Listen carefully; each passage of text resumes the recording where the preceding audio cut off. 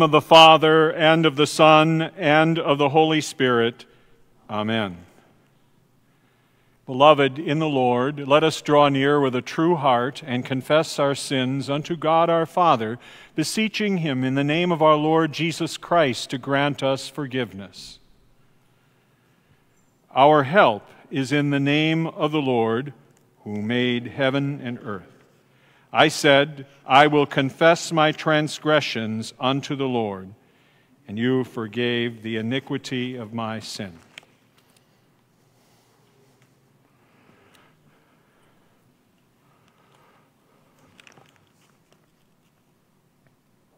O Almighty God, merciful Father, I, a poor, miserable sinner, confess unto you all my sins and iniquities with which I have ever offended you, and justly deserved your temporal and eternal punishment.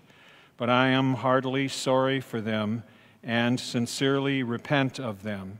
And I pray you of your boundless mercy, and for the sake of the holy, innocent, bitter sufferings and death of your beloved Son, Jesus Christ, to be gracious and merciful to me, a poor sinful being. Upon this, your confession, I, by virtue of my office as a called and ordained servant of the word, announce the grace of God unto all of you. And in the stead and by the command of my Lord Jesus Christ, I forgive you all your sins in the name of the Father and of the Son and of the Holy Spirit. Amen.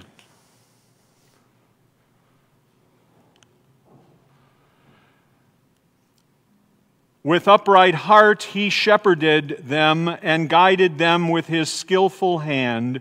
He commanded the skies above and opened the doors of heaven. And he rained down on them manna to eat and gave them the grain of heaven. Man ate the bread of the angels. He sent them food in abundance. Glory be to the Father and to the Son and to the Holy Spirit, as it was in the beginning, is now, and will be forever. Amen. With upright heart he shepherded them and guided them with his skillful hand.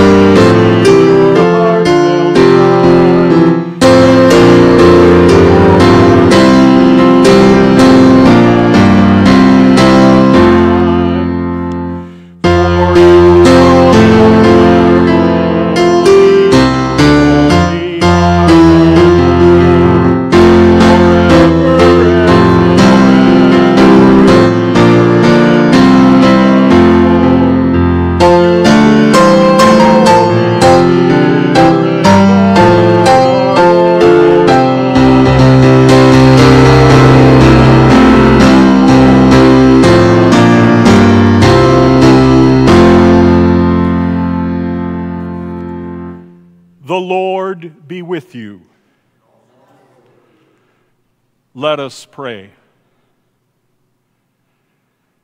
Merciful Father, you gave your Son Jesus as the heavenly bread of life. Grant us faith to feast on him in your word and sacraments, that we may be nourished unto life everlasting through the same Jesus Christ our Lord, who lives and reigns with you and the Holy Spirit, one God, now and forever. Amen.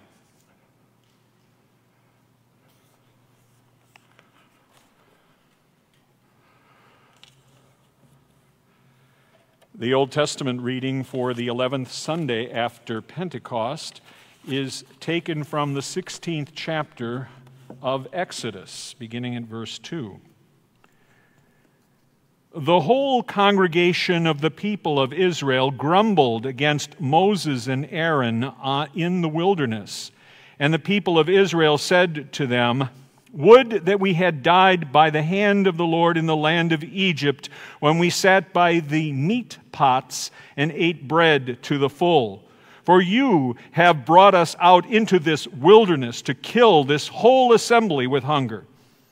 Then the Lord said to Moses, Behold, I am about to rain bread from heaven for you, and the people shall go out and gather a day's portion every day, that I may test them whether they will walk in my law or not. On the sixth day, when they prepare what they bring in, it will be twice as much as they gather daily. So Moses and Aaron said to all the people of Israel, At evening you shall know that it was the Lord who brought you out of the land of Egypt, and in the morning you shall see the glory of the Lord because he has heard your grumbling against the Lord.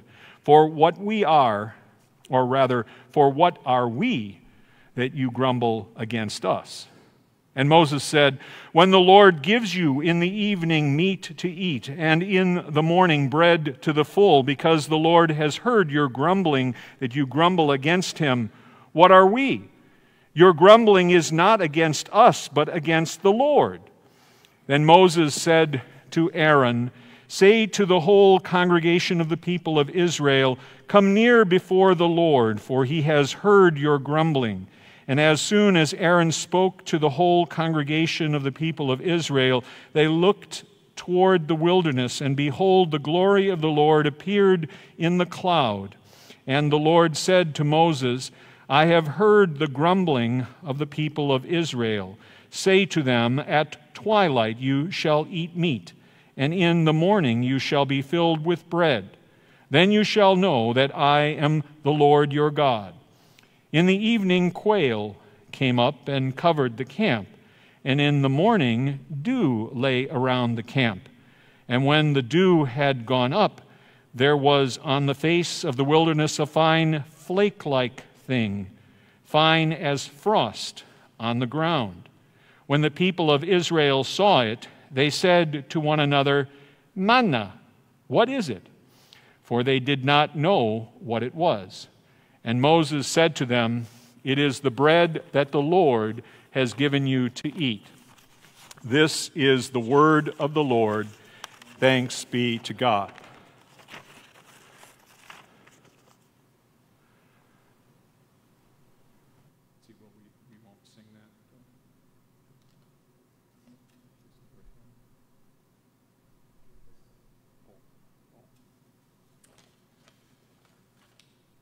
Pardon me.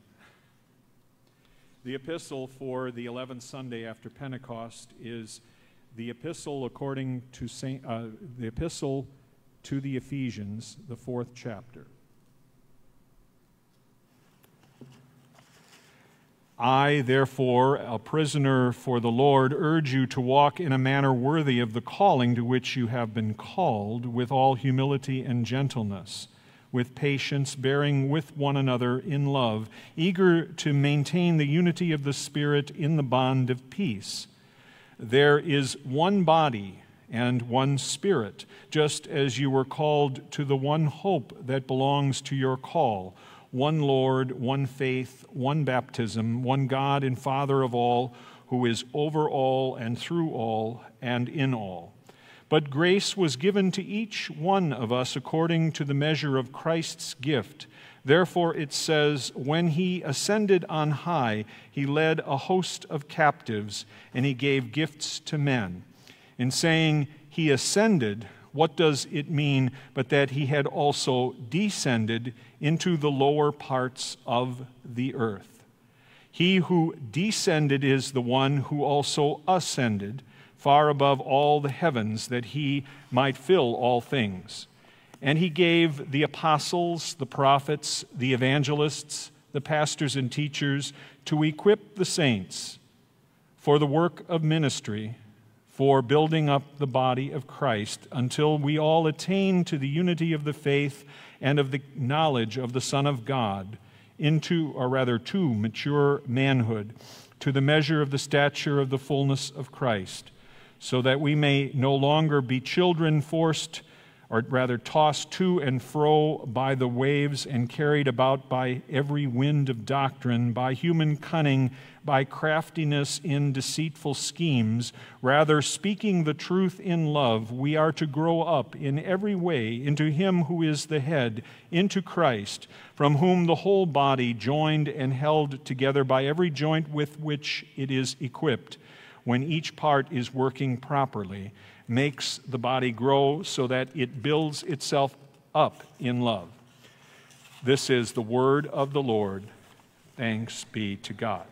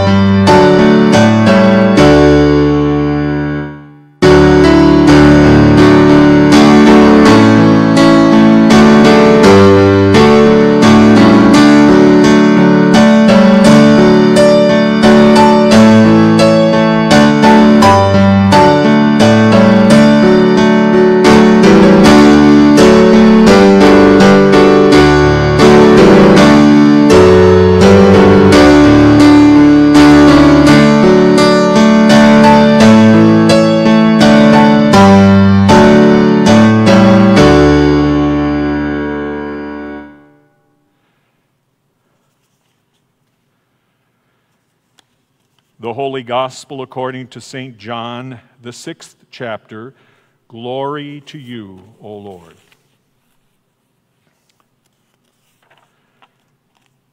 On the next day, the crowd that remained on the other side of the sea saw that there had been only one boat there, and that Jesus had not entered the boat with, with his disciples, but that his disciples had gone away alone.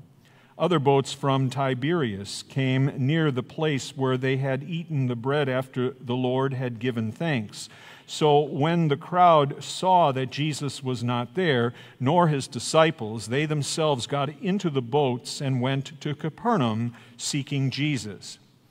When they found him on the other side of the sea, they said to him, Rabbi, when did you come here? Jesus answered them, Truly, truly, I say to you, you are seeking me not because you saw signs, but because you ate your fill of the loaves. Do not labor for the food that perishes, but for the food that endures to eternal life, which the Son of Man will give to you. For on him God the Father has set his seal. Then they, say, then they said to him, What must we do to be doing the works of God? Jesus answered them, This is the work of God, that you believe in him whom he has sent. So they said to him, Then what sign do you do that we may see and believe you? What work do you perform? Our fathers ate the manna in the wilderness, as it is written, He gave them bread from heaven to eat. Jesus then said to them, Truly, truly, I say to you, it was not Moses who gave you the bread from heaven but my Father gives you the true bread from heaven. For the bread of God is he who comes down from heaven and gives life to the world. They said to him, Sir, give us this bread always. Jesus said to them, I am the bread of life. Whoever comes to me shall not hunger, and whoever believes in me shall never thirst. This is the gospel of the Lord. Praise to you, O Christ. We confess our most holy faith in the words of the Nicene Creed.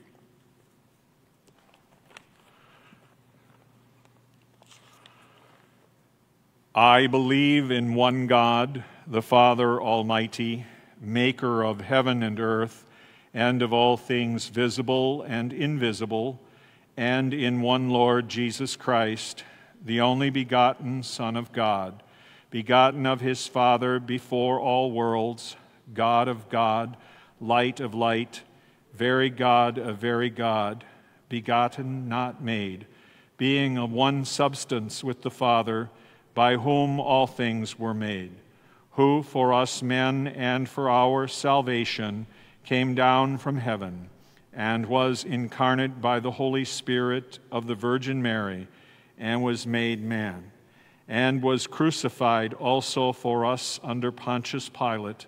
He suffered and was buried. And the third day he rose again, according to the Scriptures, and ascended into heaven, and sits at the right hand of the Father. And he will come again with glory to judge both the living and the dead, whose kingdom will have no end. And I believe in the Holy Spirit, the Lord and giver of life who proceeds from the Father and the Son, who with the Father and the Son together is worshiped and glorified, who spoke by the prophets. And I believe in one holy Christian and apostolic church. I acknowledge one baptism for the remission of sins, and I look for the resurrection of the dead and the life of the world to come. Amen.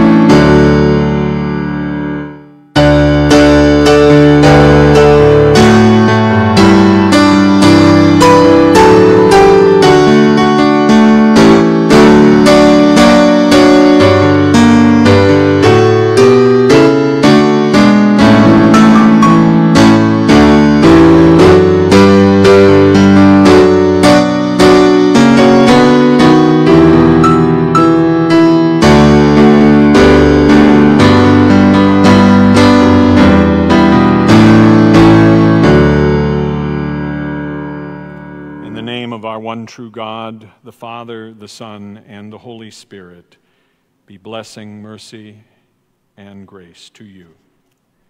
Our text is our epistle for today.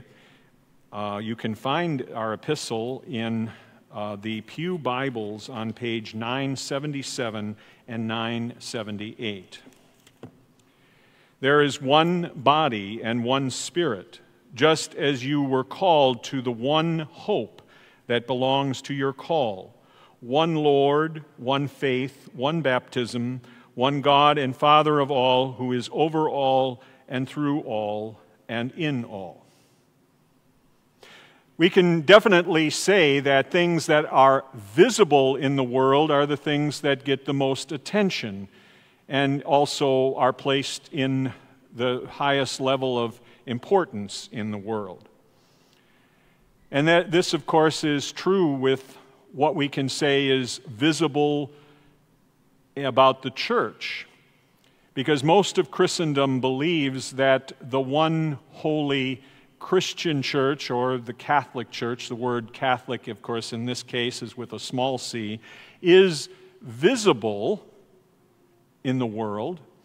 And um, of course, it, they, they wonder uh, why there are so many different uh, denominations or separations, you might say.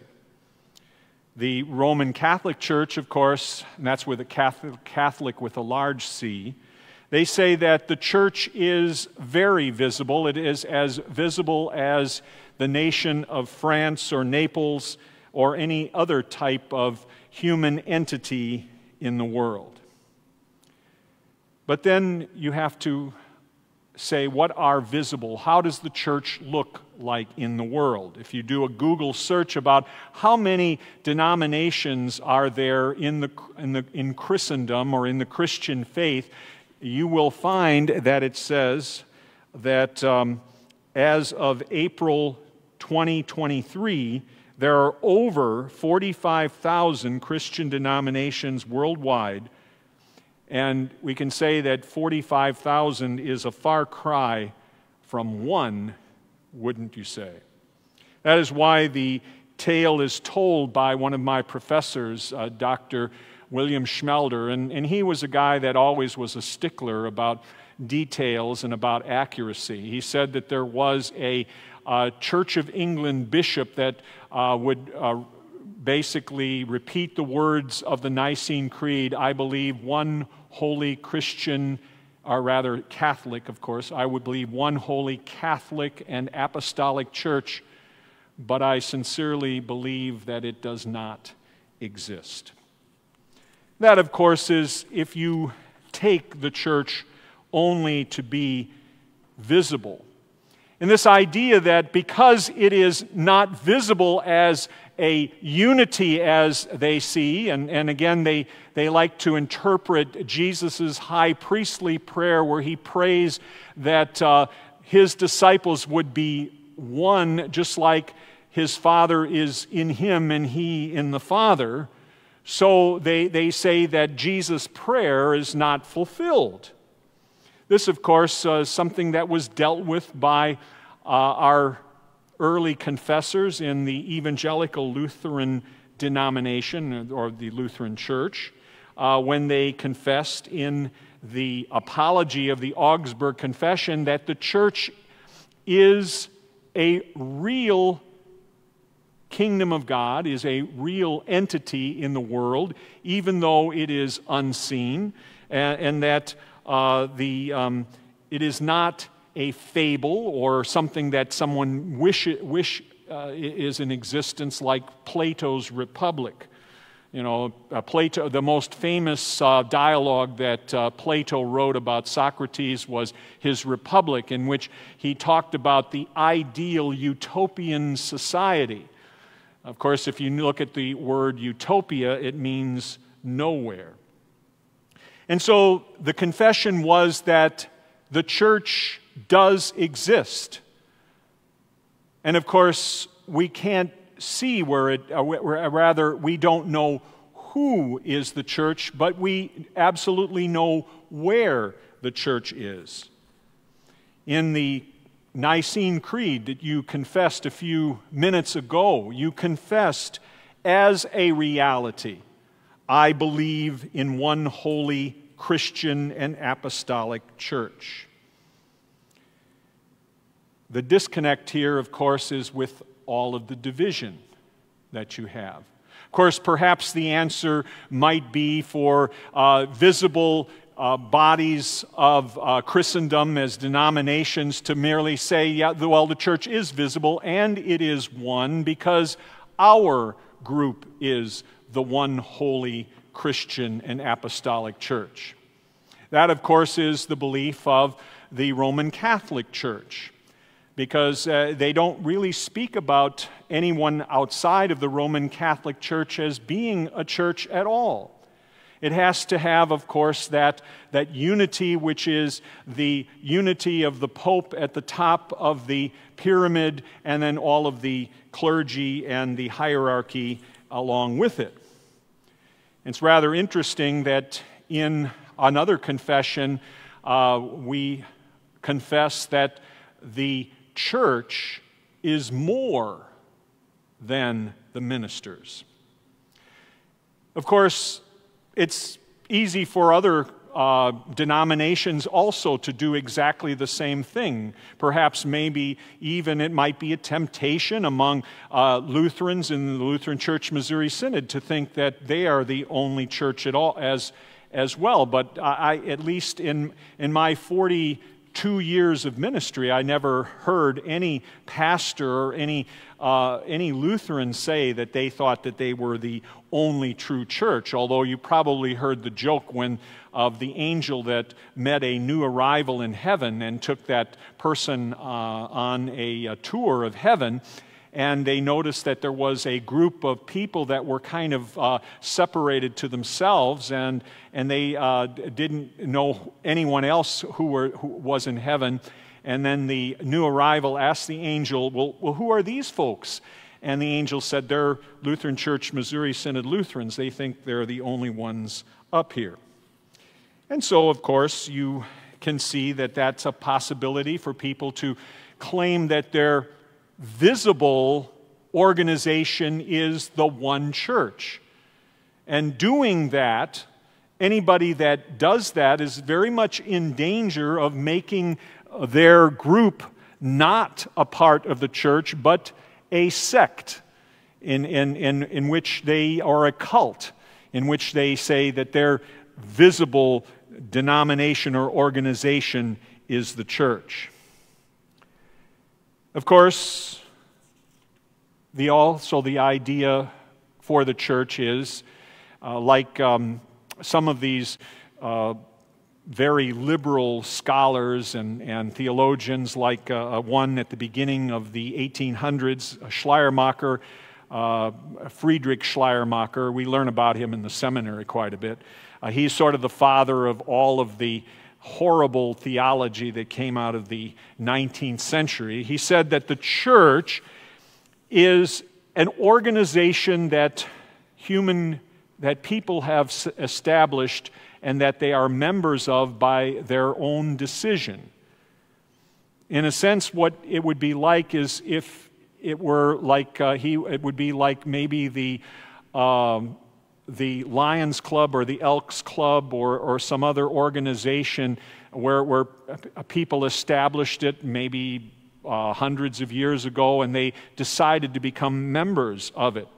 That is certainly not the understanding of the holy, the one holy Christian and apostolic church. Jesus spoke about the church when he said to Peter, you are Petros, a little stone, and upon this Petra, this rock, which was himself, he founded the church upon himself, because there is no other foundation that can be laid than that which is laid, namely Jesus Christ.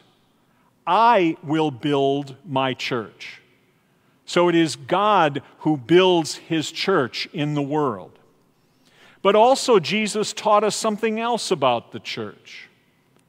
He said about the kingdom of God, which for us is, is something which, which um, de- defines the church of God in the world, or we speak about it being God's or Christ's kingdom of grace. He says that the kingdom of God does not come with observation for people to say, oh, here it's coming or there it's coming. For the kingdom of God is within you. Of course, there are some theologians that say that uh, that, that makes it into a real subjective type of thing where the church is, again, maybe not something that is so real, that it is something in your heart. But nevertheless, it is your unseen and invisible faith that the Holy Spirit creates within you by hearing the external word of the gospel and by receiving the holy sacrament, the washing of water with the word, holy baptism, by which the Lord makes disciples of all nations. That you are brought into the church. God builds it and puts you into it. And the church is most certainly invisible those are, there's, again, they, they don't, people do not want to go away from the visibility of everything. But we must remember, as the Holy Apostle teaches in another epistle, where he says that the things that are seen, the things that are visible, are temporary, but the things that are unseen are eternal. And the church is most certainly eternal because it is established by the Lord Jesus Christ as his bride. There are not 45,000 churches, but one church, and it is invisible and it is the bride of Christ. As we sang in the beautiful hymn of the day, from heaven he came and sought her to be his holy bride, and with his own blood he bought her, and for her life he died. And so, of course, it is the Lord Jesus who, by his person, his life, death, and resurrection, that he redeems and blesses his church. Through baptism, he makes he cleanses his church and makes it a glorious church that he will uh, put on display on the last day look at this is my beloved it's important in this particular chapter of ephesians uh, and, there, and there's just a lot of gold to mine here, so I encourage you to study this epistle, where it speaks especially about our Lord's ascension into heaven. This, of course, happened 40 days after he was raised from the dead, after he gave instruction to the disciples, after he had completed his work of redemption, where he suffered and died for your sins on the cross, where he cleansed, um, or rather, where he made atonement for all sins, that then he might fill all things. And of course, that refers to Christ according to his human nature. That in a very special way, that he would now take on the role as the head of his body, the church. And as its head, there is only one body as it says in our text. And it's rather interesting in, in, in, um, in, discussing this particular passage, there's a quotation from the Psalms where it says that when he ascended on high, he led, uh, uh, he led captive a host of captives. But the uh, Greek says that he led captivity captive. In, in that particular sense, it, it, and then he, it also, there's a reference to Christ's descent into hell, which he did on Easter morning, the purpose of which to proclaim to the devil and all of those that were in hell that he had won the victory over death and damnation, but also leading the devil and all of the forces of evil captive as well, so that they might not have their way with his people, the church, on the world. He gave gifts to men. And the gifts, of course, he gives to the church are, are not merely uh, material, or, or, you know, if you speak about material, things are physical, but people. You know, I think that's something that's very important for us to see that gifts, our gift to one another, the greatest gift that you can give to someone else is yourself in love. So the Lord also gives to the church and, and the manner in which He governs the church by His Holy Spirit is through the gifts uh, apostles, prophets, uh, evangelists, pastors, and teachers who are commissioned to uh, uh set the saints in order for one thing. For the next thing, to do the work of ministry, the ministry of the Word, the ministry of the sacraments to build up the body of Christ because it is through these external means, as through instruments, that the Holy Spirit gathers a people of God together and incorporates them into the one holy Christian and apostolic church. So that we are no longer like children tossed around by every wind of doctrine it's important for us as, as we are the church to pay special attention to the written word of God. If people in this world, as Christians, complain that, it, uh, that there are so many divisions, then if they would simply recognize what is human doctrine as opposed to what is in the Holy Scriptures, which are certainly clear and the uh, instrument of the Holy Spirit, then there could be a lot more uh, unification as far an outward fellowship or concord. That same professor, uh, Professor Schmelder, said that there is a difference between unity and concord. Unity is always there because what Jesus prayed for in his high priestly prayer most certainly came true. The church is one, it is one, and it is present here where the gospel is proclaimed and where the sacraments are administered. But then there is the hope and the prayer of concord among Christians. And by the grace of God's Holy Spirit, as they study and they treasure, they uh, keep His precious word and confine their belief and their confession to that word and its teachings, that they will have a greater concord in the world. And that, of course, is the manner in which the Lord works among us. For Jesus is present here in his gospel, in baptism, as we will have a baptism right after our service today, and also in the precious supper in which he feeds us with his true body and blood and shows himself by all that he does to be the bread of life, that those who come to him may not hunger, and those who believe in him will never thirst. May God grant it for Jesus' sake. Amen. The peace of God, which passes all understanding, keep your hearts and minds through faith in Christ Jesus to life everlasting. Amen. I invite you to stand as we sing our offer, offertory.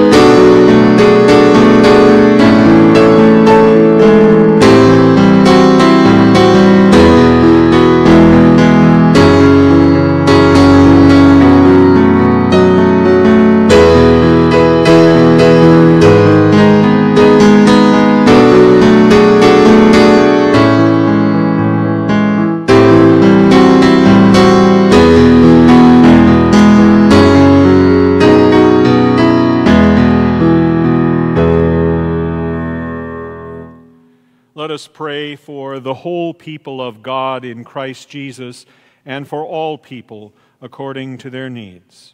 Gracious Heavenly Father, as you provided for the Israelites during their journey through the wilderness to the land you had promised, give us confidence to trust in you and to look to your hand to provide all that we need for this life and for the life to come. Lord, in your mercy, hear our prayer. Holy One, your Son gives us the office of the ministry that your people might be equipped to serve and be built up into his one body. Remember in your compassion all who speak your word. Give them faithfulness and honesty in their teaching, that your children would be freed from all deceit, to speak your truth to one another in love, growing up in every way into Christ. Lord, in your mercy, hear our prayer. O Lord, grant us true unity in the faith, preserve us in pure doctrine, grant harmony in our congregation, district, and synod, and bestow on us charitable hearts that put the best construction on what we see and hear. And as we are mindful both of the invisible true church, the one church, and also the uh, external confession of the church in, and as it is in this world. We ask your blessing upon the saints here present in our Redeemer in Overland. Of course, we recognize the fact that this local congregation, too, is a part of the one holy Christian and apostolic church. We thank you for the ministry that has been given to this church, the ministry of uh, preaching the gospel and administering the sacraments of our preschool, its directors, teachers, volunteers, and, and the congregation, which is uh, so helpful in uh, continuing that ministry. We also would thank you, too, about the loving hearts that provided for uh, the school supplies for River Road School and was able to um, do every or provide every need that was requested through the loving uh, generosity of your people. We pray for the music ministry of this congregation as well as the fledgling uh, St. Louis Christian Music Center that we will um, inaugurate this fall. We pray that you would bless the directors and teachers and, and also that you would move the hearts of many people to come and, and to learn to praise you and give you praise in music. Lord, in your mercy, hear our prayer. God and Father of all, enable us to walk in humility, gentleness, and patience, that we would hear with one another in love and be eager to maintain the unity of the Spirit in the bond of peace. Lord, in your mercy, hear our prayer. Mighty One, you establish civil authority in the world, and as you give it, it is to be a blessing. That we should, we are exhorted by the, the holy apostle to uh, pray for kings and for all who are in authority. So we pray for all those who are in authority in our own nation and in the world that we may live a godly and peaceable life in this world. Keep them honest. Keep them concerned to serve the people that they rule over. According to your good and gracious will, for you do all things well. Lord, in your mercy, hear our prayer. Show your mercy to the sick and hospitalized, especially uh, Pastor Stefan Hoopert, who is in Mercy Hospital and who has undergone dialysis. We pray that you might spare his life, that you might grant that uh, he might be sustained uh, in his life. Bless his uh, wife, uh, Jennifer, as she seeks to be with him and care for him and, and be with, with him during these difficult times.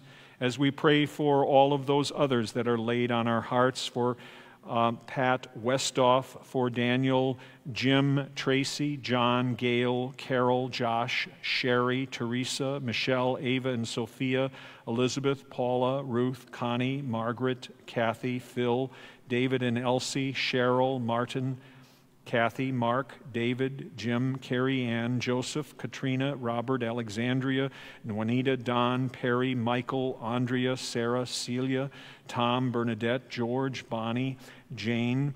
Uh, also for Jane, too, because she too is in the hospital. Uh, Ruth Ann, Janice, Helen, Evelyn, Sharon, Ron, Ruth, Mel, Sharon, Dan, Billy, and Libby. Provide doctors, nurses, and other medical professionals to care for those who need help and healing. Lord, in your mercy, hear our prayer. Lord, we come as a people tossed to and fro by the manifold changes of this mortal life. Bless us as we continue to uh, follow our pilgrimage in this life and grant that we may, by the grace of our dear Lord Jesus Christ and by the new creation of the Holy Spirit, find ourselves on the farther shore, appearing with all your saints through Jesus Christ our Lord, who lives and reigns for you and the Holy Spirit, one God, now and forever. Amen.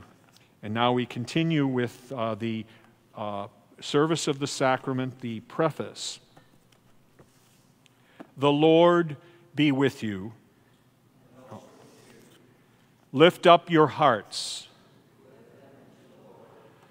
Let us give thanks to the Lord our God. It is truly good, right, and salutary that we should at all times and in all places give thanks to you, Holy Lord, Almighty Father, everlasting God, through Jesus Christ our Lord, who having created all things, took on human flesh and was born of the Virgin Mary. For our sake he died on the cross and rose from the dead to put an end to death, thus fulfilling your will and gaining for you in a holy people Therefore, with angels and archangels, and with all the company of heaven, we laud and magnify your glorious name, evermore praising you and saying,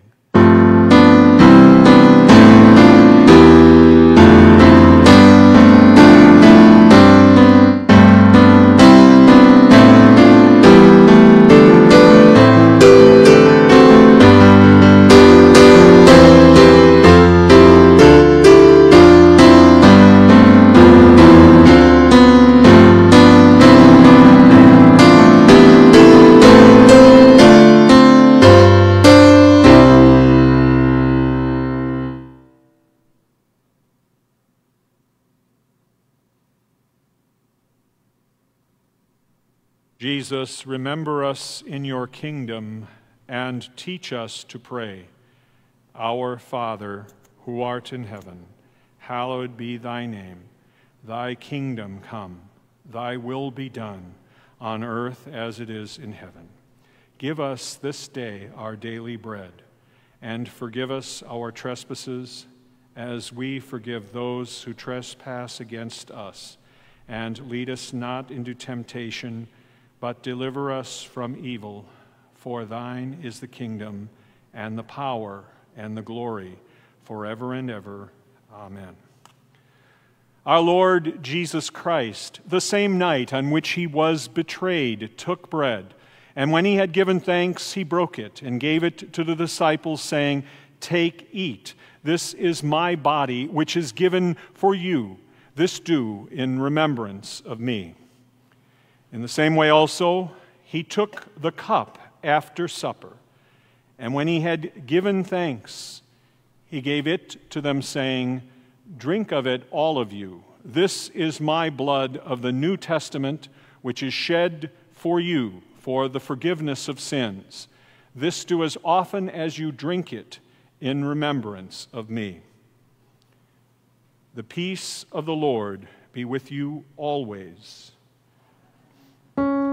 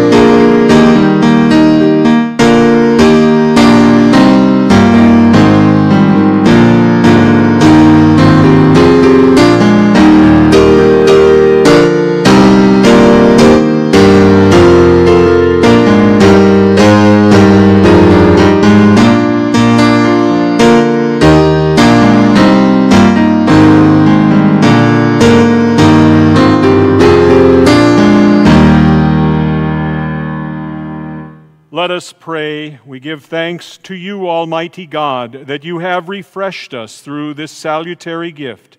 And we implore you that of your mercy you would strengthen us through the same in faith toward you and in fervent love toward one another. Through Jesus Christ, your Son, our Lord, who lives and reigns with you and the Holy Spirit, one God, now and forever. Amen. Go forth with God's blessing. The Lord bless you and keep you.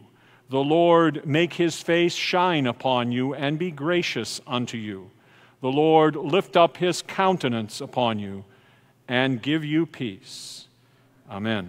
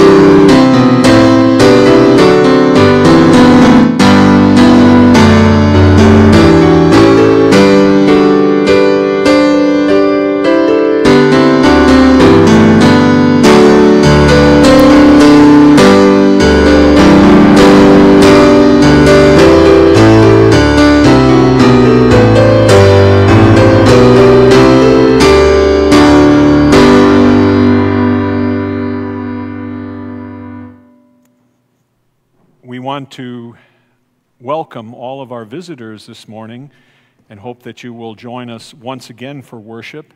Please enter your names in the attendance books that are on the side of the pew that is right next to the center aisle.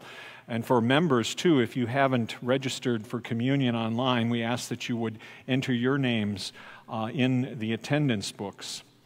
Uh, we, we have a, a baptism uh, are rather two baptisms that will uh, take place here after the worship service. And so keep the two baptizands in your prayers uh, Richard and Stevie, who will be baptized in the name of the triune God. Uh, tomorrow is the um, church council meeting uh, at the regular time of 7 o'clock.